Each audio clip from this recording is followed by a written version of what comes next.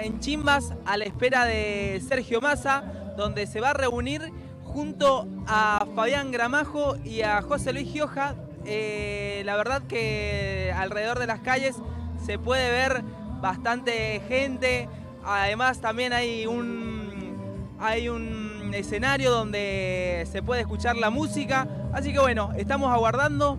Seguramente en este momento el ministro de Economía eh, está en el Tambolar. Y bueno, en minutos estará llegando acá a Chimbas.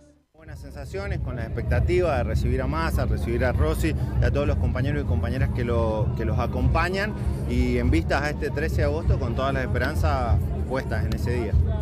¿Cómo va la campaña? Bien, muy bien, la verdad que da en ritmo, costó empezar, es un año de muchas elecciones, pero bueno, hemos vuelto a recorrer la provincia, nos están quedando un par de departamentos todavía, pero nos quedan dos semanitas que vamos a intensificar la recorrida. ¿Cuáles son las expectativas? Las expectativas siempre las mejores. A ver, nosotros trabajamos y tenemos un muy buen recibimiento de la gente, entonces eso nos hace generarnos buenas expectativas en vista para el 13, ¿no?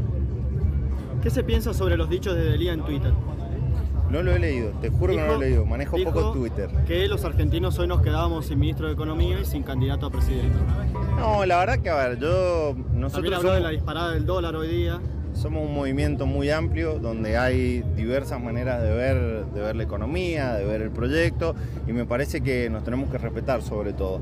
Pero la verdad que no lo había leído, creo que Massa es el mejor candidato que tenemos a presidente, es la mejor fórmula Massa Rossi, vamos a trabajar para que ellos lleguen a ser presidente y tengo mucha fe, mucha esperanza en que el país va a retomar el rumbo bueno.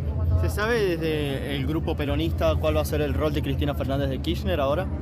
Creo que Cristina conduce eh, el espacio, el campo nacional y popular eh, en el país y me parece que es la conductora natural, política de, nuestro frente y creo que será ese rol, ese rol de consulta, siempre eh, como lo es José Luis Gioja también en nuestra provincia, son dirigentes en el país que nunca hay que dejarlos de lado y que nos van a marcar el camino siempre.